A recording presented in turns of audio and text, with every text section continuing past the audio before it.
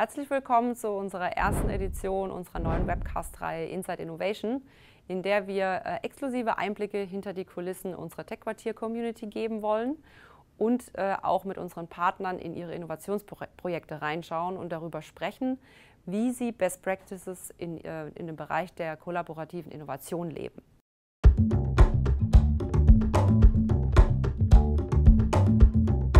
Wart als einer der ersten und langjährigsten Partner eigentlich von Stunde 1 mit dabei. Eigentlich waren wir sogar schon in Stunde 0 dabei, nämlich als das Tech-Quartier noch äh, sozusagen am Entstehen war.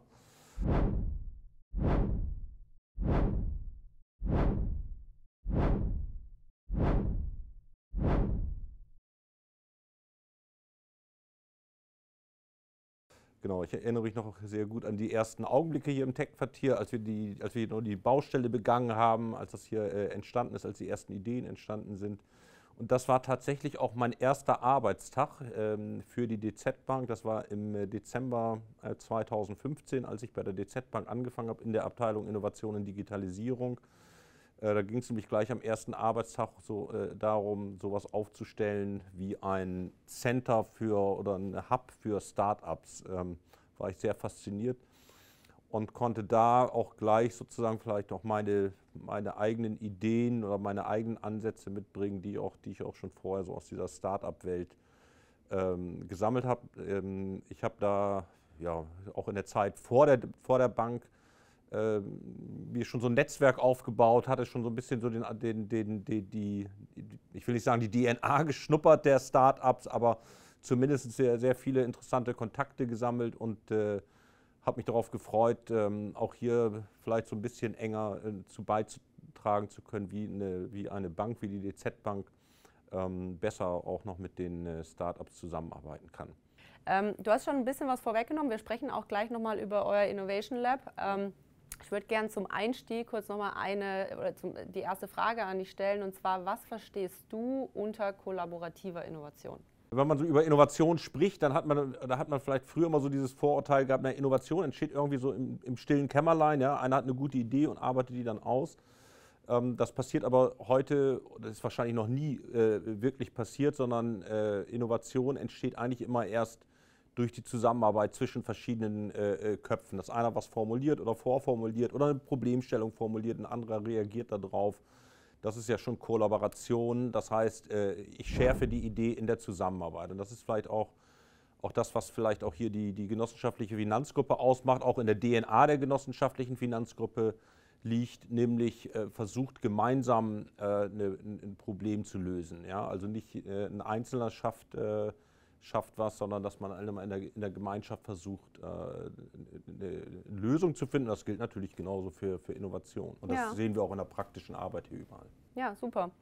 Also ich würde sagen, wir gehen jetzt auch mal konkret äh, zu eurem, zu eurem InnoLab. Wie du gesagt hast, sitzen wir ja heute auch hier. Ähm, lass uns doch konkret, weil das ist ja ein Best Practice, kannst du so, so sagen, ähm, wie war das bei dem Aufbau eures Labs hier äh, im Tech-Quartier? Kannst du uns ein bisschen mehr über die Initiative, über das Team dahinter erzählen? Genau, also wir haben das, äh, als wir das, das, Innovation Lab aufgebaut haben, es wird jetzt im, im Sommer fünf Jahre alt. Ähm, da hatten wir damals schon überlegt, ob wir ins Tech-Quartier ziehen. Damals war es aber von den Räumlichkeiten her noch nicht möglich. Und da sind, haben wir erst, sind wir erst gestartet bei uns in den Räumlichkeiten. Und als sich dann die erste Möglichkeit auftat, vor drei Jahren, glaube ich, vor drei Jahren sind wir dann hier rübergezogen. Und für uns war natürlich äh, ein Ansatzpunkt, genau auch dieses, diese, dieses kollaborative Instrument oder ne, dass man hier äh, doch nochmal ein anderes Setup hat, ein anderes Setting hat, man hat hier andere Kontakte. Äh, das war für Innovationsarbeit ziemlich wichtig. Einmal diese zufälligen Kontakte, die es hier gibt, aber auch die, die etwas andere Atmosphäre hier und aber auch die, äh, ich sag mal, dieses Drumherum mit interessanten Veranstaltungen, die hier stattfinden. Und das nutzen auch die Leute, ähm, die hier arbeiten, ähm, dass sie auch sich abends hier mal einen Vortrag anhören oder äh, auch angesprochen werden und äh, daraus vielleicht auch nochmal was Neues entsteht. Ja, sehr schön. Das geht auch so ein bisschen in meine nächste Frage über. Ähm, ich meine, Fünfjähriges, wir haben dieses Jahr auch Fünfjähriges, das heißt, das zeigt ja, dass wir von Anfang an äh, im Gespräch waren. Ähm, was waren denn damals so die Erwartungen, gerade in Zusammenarbeit mit dem Tech-Quartier? Weil du hast jetzt gerade gesagt, ihr fandet es super, dass hier viele Events stattgefunden haben, dass, äh, dass, ja, dass einfach die Möglichkeiten angeboten waren, dass ihr euch äh, involvieren konntet. Gab es denn darüber hinaus Erwartungen, sage ich mal, ans Tech-Quartier, ähm, die so ein bisschen proaktiver vielleicht sind? Ja. Also erstmal als das, als das Tech-Quartier, ich hätte gesagt, wir waren ja von Anfang an mit dabei. Erstmal war es für uns zu dem Zeitpunkt wichtig, damals gab es ja überhaupt nichts in Frankfurt ja, in dieser Richtung. Ähm, und, wir, und in anderen Städten wie Berlin, München, Hamburg gab es schon solche, äh, äh, äh solche Angebote für, für junge Unternehmen. Wir fanden es erstmal auch als DZ-Bank sehr wichtig, dass auch für den, äh, Frankfurt, äh, für den Standort Rhein-Main hier was angeboten wird. Ähm, das war sicherlich so eine, auch so eine übergreifende Komponente, aber ähm, da wir das ja auch von der Innovationsabteilung her mit gefördert haben, für uns war auch wichtig, dass wir hier, dass wir hier gerade so einen Ort haben, äh, wo wir auch mal unkompliziert ähm, mit, mit äh, anderen Unternehmen zusammenkommen. Nicht nur mit Startups, auch man trifft sich hier auch nicht nur mit Startups, sondern trifft sich auch mit anderen Corporates. Das ist mindestens genauso wichtig für uns gewesen, ähm, dass wir uns auch mit denen austauschen können, äh, dass man sich nicht immer offiziell äh, verabredet, sondern dass man sich hier auch mal äh, inoffiziell verabredet. Da sind auch gute, auch für uns gute Kontakte daraus entstanden, auch regelmäßige Treffen. Ähm, und ähm, darüber hinaus aber natürlich auch, dass wir das Tech-Quartier ähm, und, und auch das gesamte Angebot drumherum auch nutzen können. Äh, für, nicht nur für, also für Workshops, für Veranstaltungen. Äh, wir, wir führen hier viele Veranstaltungen auch durch, viele Workshops durch aber dass wir auch teilnehmen können und auch unser, ich sag mal, auch uns weiterbilden können, ja, was Innovation betrifft und hier auch neue Ideen aufsammeln können. Kannst du ähm, uns ein bisschen mehr dazu erzählen, wie das Innovation Lab tatsächlich funktioniert? Habt ihr ein bestimmtes Framework, äh, nach dem ihr arbeitet? Ja. Ähm, ja, also einmal gibt es bei uns ein Framework für den äh, Innovationsprozess, insgesamt für das Innovationsmanagement, aber das wäre wahrscheinlich jetzt äh, äh, zu langweilig jetzt für die, für die Zuhörer, Zuschauer. Ähm, für das äh, Innovation Lab. Das Innovation Lab hat ursprünglich begonnen äh, nur mit einem sogenannten Prototyping Lab, wo in, innerhalb von, von äh, zwölf Wochen die Kollegen ganz konkrete Prototypen entwickeln. Ähm, weil wir dann aber gemerkt haben, ähm, das ist gut, wenn man sozusagen irgendwas verproben will, wenn man, eine, äh, wenn man auch äh, genügend Zeit hat, äh, auch genügend Ressourcen hat, um eine Idee auszuprobieren. Aber manchmal geht es Fachbereich nur darum, ich habe eine Problemstellung und ich muss erstmal für diese Problemstellung eine Idee, zu, äh, Idee entwickeln. Ähm, da haben wir äh, gesagt, wir haben diese Formate ähm, erweitert. Wir haben dann noch ein sogenanntes Sprint Lab entwickelt. Da geht es dann eher darum, in, in, nach der Google Design Sprint Methode innerhalb von einer Woche aus einer Problemstellung oder einer ersten Idee mal so erste Lösungsansätze äh, zu entwickeln. Und wir haben dann vor zwei Jahren auch noch angefangen, weil ich hatte, äh, hatte erzählt, ähm, dass das ja bei uns sehr nah ist an den praktischen Bedürfnissen ähm, des Hauses oder der Fachbereiche und der Gruppenunternehmen. Ähm, dadurch aber Themen, die weiter in der Zukunft liegen, äh, vielleicht so ein bisschen, möglicherweise so ein bisschen runterfallen, aber die, wir denen auch Raum geben wollen. Dafür haben wir dann das Format Trendlab entwickelt. Da geht es darum, so eher Themen in die Zukunft, die weiter oder von denen wir geglaubt haben oder glauben, dass die weiter in der Zukunft liegen, ähm, die äh, hier auch sehr frühzeitig zu betrachten. Ich, ich, kam deswegen so ein bisschen ins Stocken, weil äh, ich habe gerade an zwei Themen gedacht. Zu dem Zeitpunkt, als sie vorgeschlagen wurden, lagen die noch sehr weit in der Zukunft gedanklich. Äh, das Thema digitale Währung äh, und das Thema Tokenisierung, aber äh, die sind mittlerweile so dicht in der Realität angekommen, äh, ja, dass wir gesagt haben, dass wir jetzt auch im Nachhinein sagen können, da lagen wir jetzt Gold richtig damit, weil daraus dann auch in der Folge äh, in den Fachbereichen der Bank dann auch die, die, äh, auch die, die äh, hoffe ich, dann richtigen Entscheidungen getroffen worden sind, um an diesen Themen auch weiter arbeiten zu können. Aber vielleicht noch mal eine kurze Frage angeschlossen daran. Ähm, funktionieren diese drei Bereiche gesondert voneinander oder ist es beispielsweise so, was ich mir auch vorstellen könnte, äh, etwas kommt ganz neu rein, dann ist es im Trendlab oder etwas, eine neue Idee aus dem Fachbereich, die jetzt vielleicht nicht so neu ist, die kommt rein und ihr geht erst ins Sprint Lab und dann geht es ins Prototyping Lab. Oder sind das so Themen, die so auch nebeneinander funktionieren können? Also das ist gut, das, was du jetzt beschreibst, ist so der, der, der die Idealvorstellung. Ich habe mal was ganz Neues.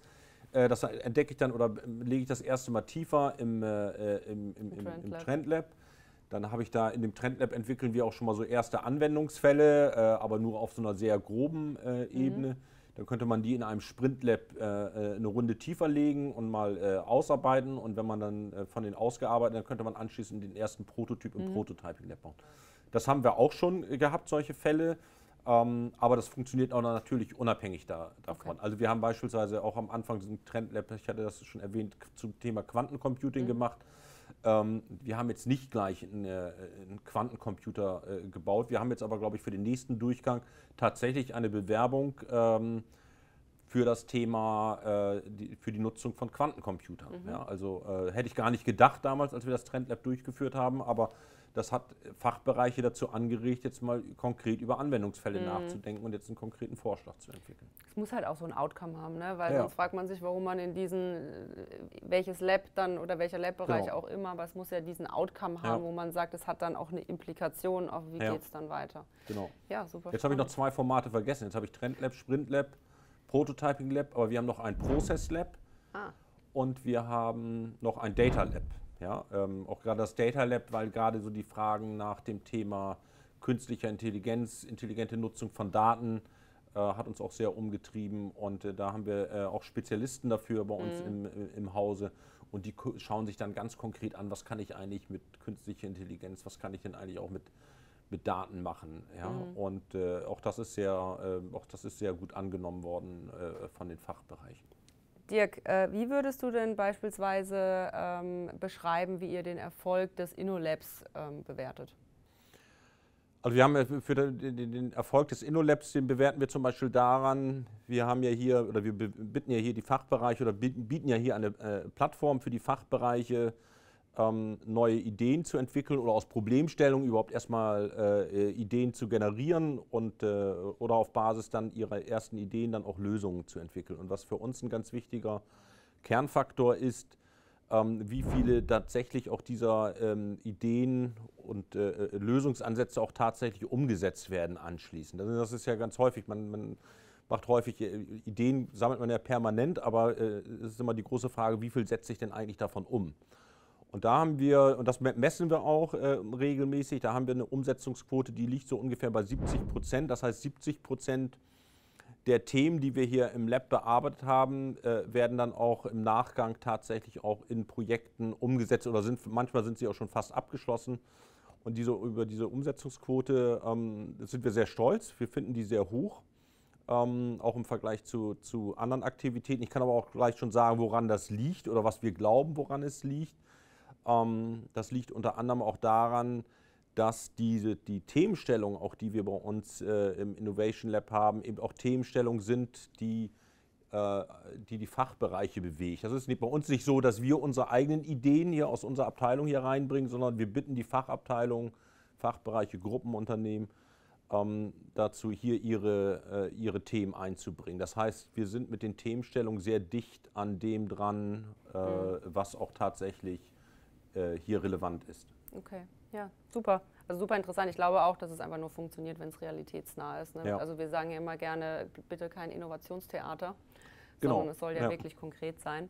Ähm, mich würde auch noch mal interessieren, ähm, was so die größten Showstopper aus deiner Sicht war. Gab es irgendwie große Challenges auf dem Weg von damals bis heute, wo du sagst, die waren einfach noch mal ein bisschen schwieriger zu überwinden im Rahmen des, der Initiative oder des Projektes? Erstmal ähm, war das ja vom Vorstand auch gewünscht, dass wir sowas machen, ähm, dass wir äh, das aufbauen hier, was, äh, was sich Innovation Lab nimmt. Der Vorstand hat das auch von Anfang an und bis heute äh, immer sehr stark äh, unterstützt und das macht auch Spaß. Das sieht man auch zum Beispiel daran, dass ähm, die, die Themen, die wir hier im Prototyping Lab haben, dass die auch immer zum Abschluss beim äh, ähm, Vorstand gepitcht werden. Das heißt, die Teams, das ist immer ein Highlight auch für die Teams hier im Innovation Lab, für das Prototyping Lab sozusagen die dürfen am Ende äh, ihre Themen beim Gesamtvorstand vorstellen und der Vorstand entscheidet auch ähm, über die Auswahl der Themen. Das heißt, wir legen dem Vorstand die Themen vor. Das heißt, dieses äh, Engagement ist sehr hoch. Das war, glaube ich, eine ganz wichtige Voraussetzung. Ähm, und so wirklich große Hürden. Große Hürden ist natürlich, am Anfang muss man, äh, muss man das bekannt machen. Man konkurriert in den Ressourcen auch immer gegen andere Themen und andere Aufmerksamkeiten. Ähm, und, ähm, aber ich glaube, das hat sich mittlerweile so gut äh, etabliert und ähm, sodass wir auch mit dem, mit dem Themennachwuchs, das ist ja auch nicht immer ganz einfach, ne? man muss dann die richtigen Themen ja auch äh, vorschlagen oder finden. Ähm, da gibt es eigentlich äh, kein Problem. Wir haben eigentlich eher das Problem immer, dass wir zu viele Themen haben und wir können leider auch nicht alles äh, äh, äh aufnehmen. Ne? Was habt ihr, oder sag ich mal, was hat euch am meisten davon überzeugt? Du hattest es zwar am Anfang schon gesagt, einfach grundsätzlich, weil es noch nichts so gab, aber wie ist denn so die Verbindung zwischen dem Lab tatsächlich und dass ihr das einfach hier auch mit einer, ich meine, ihr wart einer der ersten Partner, Champion-Partner im Tech-Quartier, warum ihr das auch einfach verbinden wolltet? Wie, Könntest, kannst du mir vielleicht noch ein bisschen mehr über den Austausch zwischen Lab und dem, was ihr vielleicht sonst in Anspruch nehmt, äh, im Tech-Quartier erklären? Also wir, für uns war eigentlich von Anfang an äh, auch mit der Partnerschaft immer äh, verbunden, auch der Reiz, auch mal hier arbeiten, auch zu arbeiten, auch in dieser Atmosphäre. Ja? Es macht ja auch Spaß hier zu arbeiten. Ich finde, äh, äh, sitze ja auch immer gerne hier. Ähm, allerdings äh, sind das immer so zwei verschiedene Sachen. Einfach zu sagen, man arbeitet hier und dann sagt man, ja, oh gut, und was arbeite ich jetzt hier, meinen normalen Tag oder was auch immer. Ja? Und äh, ähm, dabei ist es eigentlich naheliegend, dann auch irgendwann zu sagen, äh, nee, dann bauen wir doch, dann holen wir doch auch unser Lab hierher. Also wir haben zum Beispiel die Erfahrung gemacht, wir haben äh, das, das Angebot, dass, dass die Kollegen hier auch die Arbeitsplätze nutzen können, haben wir auch den, den anderen Einheiten gemacht. Also wir haben ja so eine bestimmte äh, Mindestanzahl an Plätzen. Aber das macht dann kaum einer, dass er einfach sagt, ich komme jetzt einfach mal so her. Ja? Aber wenn man sozusagen anlassbezogen, nämlich gerade hier für die, für die Teams und die Gruppen, äh, ähm, hier arbeiten kann, dann ist es doch äh, was anderes. Das war also für uns dann auch nochmal so ein, so, ein, ja, so ein Ansatzpunkt zu sagen, äh, so können wir dann auch dieses Raumangebot, mhm. was wir hier zur Verfügung haben, dann auch tatsächlich äh, auch sinnvoll nutzen. Und es, wie gesagt, ich, wie ich dann auch vorhin schon sagte, das macht ja auch Sinn, äh, einmal hier zu arbeiten, zu, manchmal auch mit, einem, mit Unternehmen hier aus dem Tech-Quartier zusammenzuarbeiten, aber auch die Infrastruktur hier und das gesamte äh, Umfeld zu nutzen. Und wichtig ist auch, darf man auch nicht verhehlen, klar. Also die Bank ist nicht weit, ja. Äh, das ist dann für die Leute tatsächlich auch manchmal ein Vorteil, mhm. dass man sagt, okay, man, ich, ich brauche jetzt nicht, nicht, nicht weit fahren. Ähm, und ähm, ja, und ich habe hier äh, trotzdem alle Möglichkeiten, äh, unabhängig sozusagen äh, ja. zu arbeiten. Ne? Kannst du uns vielleicht ein konkretes Beispiel nennen, wo euer Team dann auch wirklich diesen kollaborativen Ansatz gefahren hat und wo ihr ein konkretes Projekt mit einem Member oder einem ja. anderen Partner aus der Community hatte? Also genau, also erstmal haben wir äh, diverse äh, Projekte im Innovation Lab ähm, gehabt, wo wir oder auch jetzt, wo wir auch mit Startups und Unternehmen zusammenarbeiten. Aber ich meine, so ein fast klassisches Beispiel, das ist schon fast kitschig, das Beispiel, ne? ist ja vielleicht Jos Quantum, die hier nebenan sitzen. Äh, äh mit Jos Quantum, die haben wir tatsächlich hier äh, kennengelernt, weil sie hier einfach einen Banner im Tech-Quartier aufgebaut haben äh, und da stand Quantencomputing drauf. Das hat mich dann neugierig gemacht und tatsächlich hatten wir zu dem Zeitpunkt, äh, wir haben ein neues Format entwickelt, das nennt sich Trendlab. Da geht es um zukunftsorientierte Themen, gar nicht darum, jetzt unbedingt aktuell genau heute was zu machen oder heute eine, ein bestimmtes Problem zu lösen, sondern zukunftsorientierte Probleme zu verstehen. Und äh, äh da haben wir die angesprochen, Jos Quantum, und gefragt, hey, wir wollen hier so ein Trendlab veranstalten und könnt ihr uns dabei unterstützen? Mhm. Und äh, ähm, daraus, da haben die natürlich Ja gesagt und äh, daraus ist dann ein sehr guter äh, auch Kontakt geworden und ein sehr, äh, sehr gutes Format äh, geworden, was wir dann auch mit denen zusammen gemacht haben. Also das ist so, das war so ein bisschen zufällig, ja, wobei ich möchte gleich diese Illusion nehmen, dass aus Zufall ganz viel entstehen kann.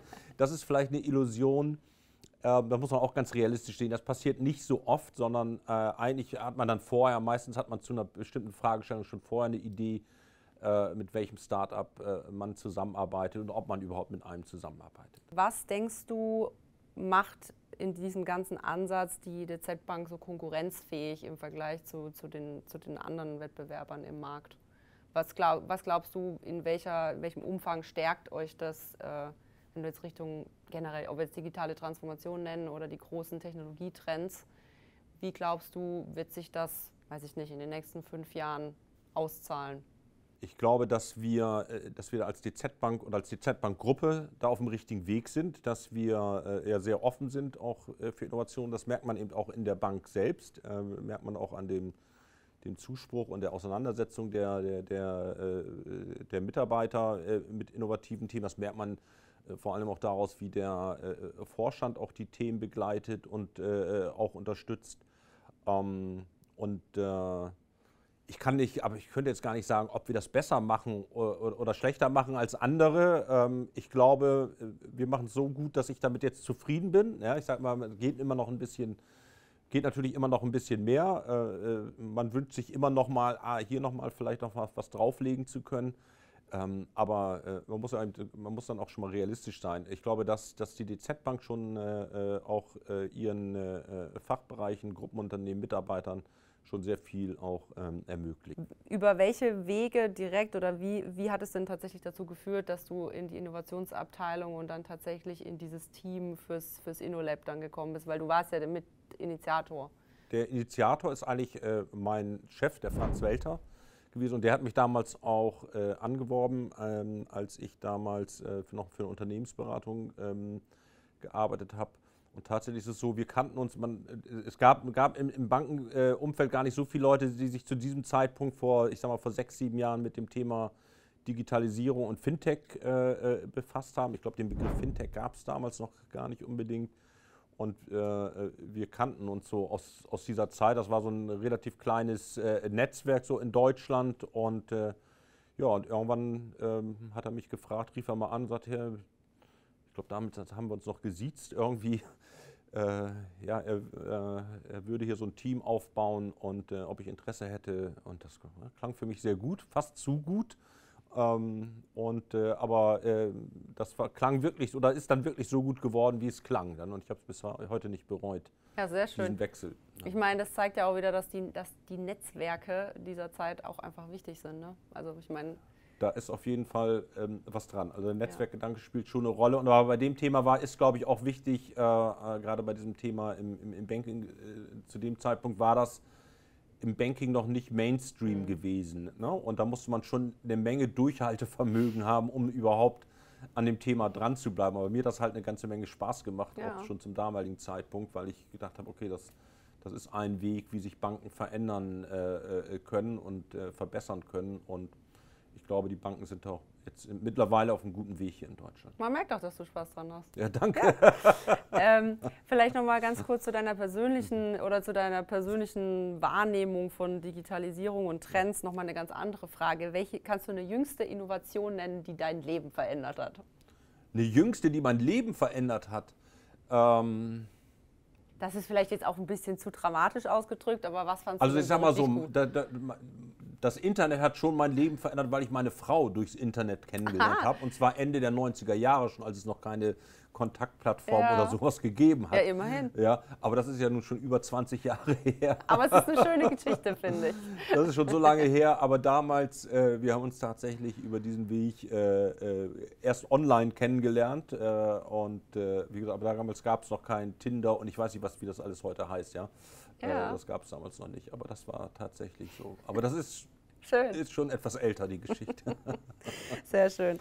Lass uns doch mal so Richtung Gesamtfazit kommen und auch noch mal überlegen, welche Learnings ähm, könnt ihr denn aus dieser multidimensionalen Zusammenarbeit mit anderen Partnern, Firmen auch weiteren Unternehmen geben, wo ihr sagt, das ist aus unserer Sicht das, wie es am Ende funktioniert und was wir euch gerne mit an die Hand geben würden. Also einmal glaube ich, dass es ganz äh, wichtig ist und das haben Banken äh, aus meiner Sicht, also nicht nur wir, sondern das, das haben, glaube ich, fast alle Banken erkannt, dass man nicht äh, ähm, für alle Problemstellungen selber Lösungen äh, entwickeln muss im Hause. Denn das war, als ich, meine, als ich in der Bank angefangen habe, meine Ausbildung gemacht habe und auch im Beruf gearbeitet habe, da hat man immer gedacht, man muss alles selber machen. Ja. Das braucht man tatsächlich nicht mehr. Das ist aber, glaube ich, mittlerweile Alleingut. Ähm, Alleingut ist auch äh, kein Alleingut mehr, ist auch heute, dass man sich einfach öffnet für diese äh, äh Start-up-Welt, weil wir auch einfach gesehen haben, äh, da liegen viele gute Ideen. Da liegen nicht nur gute Ideen, sondern da liegen auch viele interessante äh, Personen, mit denen man auch gut äh, äh, zusammenarbeiten kann. Und das ist, glaube ich, auch mittlerweile so ein, so ein Denken so auf, auf Augenhöhe, ja, wo sich beide auch so gleichberechtigt äh, begegnen. Und dann, glaube ich, ist natürlich, ja, dass man tatsächlich auch intern versucht, sich offen zu halten für neue Themen und nicht zu schnell, und gerade bei jungen Leuten, nicht zu schnell die Leute äh, sozusagen weggrätscht, wenn die mit irgendwelchen äh, wilden Ideen kommen, sondern manchmal muss man wilde Ideen vielleicht mal ein bisschen reifen lassen, ja, aber dann sollte man den Leuten auch mal die Zeit zum Reifen geben. Aber ich erinnere mich noch an viele äh, Zeiten, auf frühe Diskussionen in meiner früheren Zeit, als das Internet aufkam. Das klingt jetzt so ein bisschen echt lange her. Aber als ich das erste Mal in meiner damaligen Bank ankam und sagte, hey, wir brauchen immer sowas wie ein Internet, dann musste ich erstmal erklären, was das Internet ist. Und dann, ich weiß noch die Antwort, ich muss dir einfach hier mal sagen. Da sagte einer, Internet, das ist doch sowas wie BTX, das wird nichts. Ja, das war wortwörtlich, ich habe den Satz nie vergessen. Ja. Mhm. Ähm, und damals habe ich sehr, sehr gekämpft dafür, dass man überhaupt einen Internetanschluss bekommen hat. Und ich hätte mir immer gewünscht und habe mir immer gewünscht, dass man auch mal einfach dann, und das findet man aber in der heutigen Umwelt und das findet man auf jeden Fall in der DZ-Bank, äh, dass man einfach äh, Kollegen, Vorgesetzte hat, die einem auch mal ein bisschen mehr äh, Freiräume geben. Und wenn einer mit so einer konfusen Idee ankommt wie dem Internet, dann sollte man ihm zumindest erstmal zuhören und nicht gleich ja, Das ist richtig. Können wir vielleicht noch mal ein bisschen über eure Learnings aus, wirklich aus der Kollaboration mit Startups sprechen? Ja. Da hatten wir nämlich vor kurzem erst schon mal drüber gesprochen, wie es tatsächlich für uns, für euch funktioniert ja. und wie halt nicht. Also ich glaube, es ist auch eine wichtige Message sowohl an Startups, aber auch genau. an Unternehmen. Genau, ich glaube, das ist ein äh, wichtiges Thema. Ich freue mich auch, dass ich einfach hier auch mal drüber erzählen kann, weil ähm, die, bei uns laufen ja sehr viele Start-up-Anfragen auch auf, äh, weil wir sind einmal der, der Kontaktpartner fürs Tech-Quartier und dann äh, kommen viele Leute auch zu, weil sie sagen, ah, Innovation und Digitalisierung, die sind ja für die Digitalisierung der DZ-Bank zuständig, deswegen sprechen wir die jetzt mal an. Also erstmal sind wir nicht für die Digitalisierung der DZ-Bank zuständig, sondern das machen alles die jeweiligen Fachbereiche bei uns.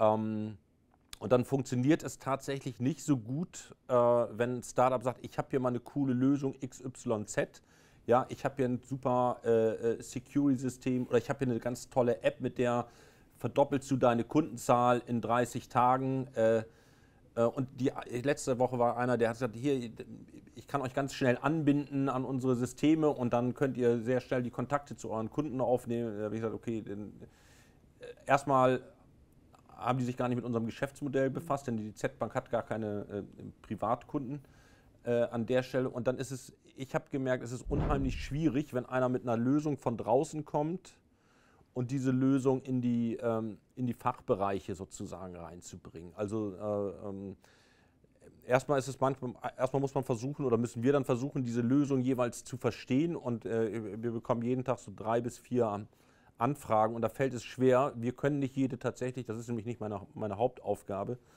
äh, können nicht jede Anfrage im Detail analysieren, das Geschäftsmodell verstehen und dann gucken, wer ist der Fachbereich dann. Ähm, wenn wir Anfragen haben, die so klar sind und dass das, die, die, die, Nachfrage so ist, dann können wir diese Anfragen gerne an die jeweiligen Fachbereiche weiterleiten. Wir wissen aber, dass die Erfolgswahrscheinlichkeit relativ gering mhm. ist, weil die Fachbereiche, wenn, auch wenn die Lösung super gut ist, aber die Fachbereiche haben vielleicht in diesem Moment gerade eine ganz andere Priorität, einen ganz anderen Schwerpunkt haben vielleicht auch schon eine Lösung, die sie sich gerade vor einem Jahr vielleicht eingekauft haben. Ähm, dann ist das schwierig zu sagen, okay, jetzt reden wir auch nochmal mit denen. Und äh, deswegen sagen viele Fachbereiche dann, äh, nee, heute jetzt nicht. Äh, ich lege mir das mal zu den Akten oder melde mich gar nicht. Ne? Und ich warne dann immer schon die Startups vor und sage, ist jetzt nicht äh, wahrscheinlich. Manchmal wissen wir, dass Fachbereiche was suchen, manchmal kommen Fachbereiche auch zu uns und sagen, hey, wir suchen mal eine Lösung äh, in dem und dem Umfeld, dann ist die Wahrscheinlichkeit viel, viel höher. Ja? Aber wenn man diesen umgekehrten Weg geht, wenn wir diesen umgekehrten Weg gehen, also vom Tech-Quartier, ihr nennt das dann das Scouting praktisch, wenn wir nach den Bedürfnissen der Fachbereichen äh, Startups scouten und dann nach bestimmten Lösungen äh, mhm. beispielsweise suchen. Da halte ich die Erfolgswahrscheinlichkeit für, äh, für deutlich äh, höher. Das mag jetzt frustrierend sein, weil wir werden ganz häufig angesprochen von Startups, aber das ist tatsächlich äh, die Realität, so wie wir das in den letzten fünf Jahren hier auch erlebt haben. Also dieses mhm. Reinpushen ist deutlich schwieriger und ich würde mal sagen, von 100 Anfragen kommt vielleicht, ist vielleicht eine erfolgreich. Mhm. Ja, aber das ist aber tatsächlich die Realität. Und aus Sicht der Fachbereiche äh, kann ich es auch verstehen, weil man sagt, äh, wie gesagt, ich habe bestimmte Prioritäten, ich habe gerade bestimmte Themenstellung. Ähm, oder aber das Startup hat gar nicht, äh, das Unternehmen hat gar nicht verstanden, was wir machen. Das muss man ja auch sehen. Ne? Man äh, muss ja dann verstehen, dass die, wie gesagt, dass die DZ-Bank keine Bank für Privatkunden zum Beispiel ja, äh, ist, kein Privatkunden, selbst kein Privatkundengeschäft hat. Also nur indirektes Privatkundengeschäft. Ähm, Bedeutet aber, dass ihr einfach auch sagt oder die Empfehlung, wie gesagt, aussprechen würdet, man sollte das schon über so einen kuratierten Ansatz machen, dass man einen Partner genau. hat, wie es können jetzt wir sein, äh, wo ja. man einfach sagt, hör zu, das und das steht an, das und das ist die Anfrage aus dem Fachbereich. Genau. Ähm, und weil es dann einfach, einfach ein bisschen besser funktioniert. Okay. Ich finde es ein super wichtiges Learning. Ja, äh, also ich finde es auch ganz äh, wichtig und ich sage es dann auch mittlerweile auch immer dazu, äh, wenn wir so eine Anfrage äh, bekommen. Ich finde manche Anfragen äh, auch total interessant, wo ich sage, ey, da würde ich mir auch wünschen, äh, dass wir das machen. Ähm, aber wie gesagt, ganz häufig oder manchmal sind es auch ähnliche Anfragen. Ne? Wir hatten jetzt so ein paar Anfragen zum Thema ähm, ähm, Pay-per-Use. Mhm. Ja? Das ist sogar aus einer Anfrage äh, im vergangenen Jahr ein ganz konkretes, äh, äh, ganz konkretes Projekt geworden. Das haben wir auch hier im Innovation Lab gehabt, ein ganz konkreter Prototyp, äh, Prototyp entstanden. Äh, das war ein Start-up, mhm. war übrigens von einem mittelständischen Unternehmen ein Start-up äh, gegründet. Da ist tatsächlich dann auch ein Produkt draus geworden und ein Folgeprodukt haben wir jetzt auch gerade aktuell bei mhm. uns im Innovation Lab. Das ist dann auch ganz faszinierend. Das ist aber eher die Ausnahme, die Ausnahme würde ja. ich sagen. Ne? Okay. Ähm, und man muss eben dazu sagen, die Fachbereiche befassen sich mittlerweile auch, die kennen auch, die wissen, dass es Startups gibt, das ist ja nun kein Geheimnis mehr. Die haben jetzt auch keine Angst davor, sondern die wissen, dass da auch viele interessante Lösungen gibt. Und ähm, die DZ-Bank, äh, DZ-Bank-Gruppe ist auch, ich, ich glaube, nach der Deutschen Bank und der Commerzbank die mit den äh, meisten äh, Start-up-Kooperationen ja. hier in Deutschland zumindest. Deswegen ist ja vielleicht, darf ich das noch ergänzen, mhm. so, ist ja auch mal so ein Tipp ans Tech-Quartier, deswegen finden wir immer solche Veranstaltungen auch gut, die fachbezogen sind. Ne? Also diese allgemeinen Veranstaltungen, ich stelle jetzt mal 20 Start-ups aus ganz verschiedenen Fachbereichen vor, äh, da kriegt man wahrscheinlich, kriegt man ganz, mhm. kriegt man die Leute von unserer Seite gar nicht so gut hin. Wenn jetzt hier eine Fachveranstaltung stattfindet, beispielsweise jetzt findet, glaube ich, demnächst eine statt zu Digital Assets. Ja da weiß man ganz genau, wen man da ansprechen muss. Da ja. sagen relativ viele Leute, ah, da komme ich hin. Ja? Äh, äh, und dann äh, nehme ich, nehm ich auch daran teil. Dann hat man so eine, sozusagen einen fachspezifischen Fokus, der dann auch viel eher sozusagen die Zielgruppe in den, in den Corporates äh, ja. trifft. Ich glaube, wir profitieren aber auch einfach alle. Also, äh, sage ich mal, das Tech-Quartier-Team, die Tech-Quartier-Community profitiert von dem offenen Feedback, was unsere Partner wie jetzt ihr einfach geben, ja. weil wir müssen wissen, äh, sage ich mal, in welche Richtung wir äh, Themen anbieten und auf welche Art und Weise wir Startups äh, ja. euch vorstellen. Von daher finde ich das eine sehr wertvolle ähm, Diskussion. Ja. Dirk, zum Schluss wollten wir noch mal so ein kleines äh, Blitzfragen-Antwort-Spiel machen, einfach mal zu gucken, was so spontan äh, bei dir als Antwort kommt. Schnelle Innovation oder strategische Innovation? Schnelle Innovation. Hm. Wo passiert mehr Innovation? Startup oder Innovationsabteilung großer Firmen?